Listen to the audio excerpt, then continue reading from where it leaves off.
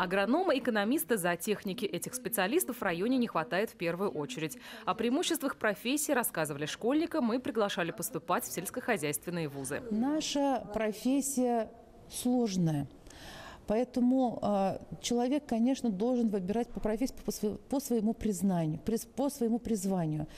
Э, у нас в нашем вузе очень вообще насыщена студенческая жизнь, и дети получают хорошее образование в процессе посещения занятий и также во внеурочное время. Рассказали школьникам и о мерах государственной поддержки для тех, кто придет работать в сельское хозяйство. Между тем, сами абитуриенты с выбором определиться не спешат. Я хочу доучиться до 11 класса и потом уже выбирать, куда пойти. Пока что сейчас а, разные направления, менеджмент, либо что-то связано с литературой, журналистикой, либо же медицина. Я планирую остаться в городе и сюда уже как с работы не возвращаться. идти после 11 класса, а, поступить куда я хочу, потом уехать в Казань.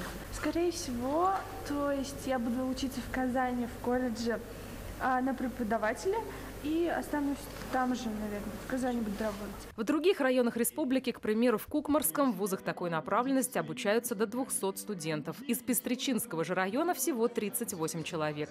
Местные аграрии надеются путем такой агитации добиться притока молодых специалистов для работы на селе. Ольга Морская, Новости Татарстана.